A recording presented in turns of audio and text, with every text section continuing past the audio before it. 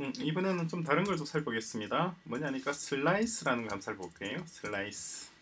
그죠? slice는 조각이란 뜻이에요. 조각. 근데 어떤 조각인지 보겠습니다. 이번에는 hero 자, splice랑 서로 비교해 보세요. splice랑 달라요.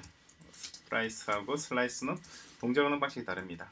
heroes slice 해서 어, 1에서부터 2까지를 잘라내라 이런 뜻인데 이게 어떤 의미일까요?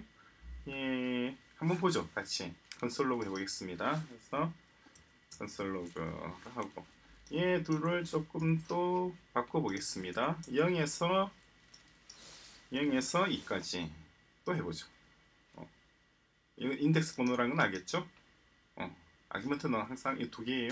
세 개를 여기다가 예를 들어서 어, 버드맨 이렇게 하면은 바로 에러 메시지가 떠요. 왜냐니까 slice는 이 세 번째 argument를 가질 수가 없습니다. splice랑 다르죠. 그죠? 이렇게 해서 한번 음, 우리 구동해 보겠습니다. 그러면은 다 똑같아요. 달라진 게 아무것도 없습니다. 그죠? 1, 2, 0, 2 해도 아무것도 달라진 게 없죠? 그죠?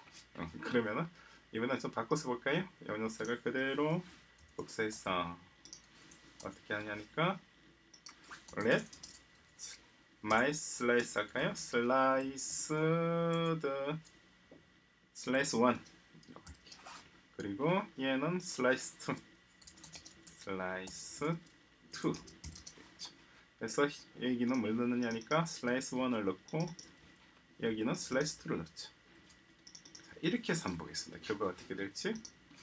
그러니까 이렇게 나왔습니다 위에 세 개는 슬라이스를 넣은 거는 다 똑같죠? 다 똑같습니다. 그런데 슬라이스 1, 2를 하니까 배트맨이라고 하는 것이 여기에 딱 담겼어요. 그러니까 0, 1, 1이죠. 배트맨 1에서부터 2까지 이게 2죠. 2까지를 잘라내는데 시작하는 start는 포함하고 끝나는 end는 포함하지 않습니다. 그러면 남는 것은 배트맨만 포함되는 거죠.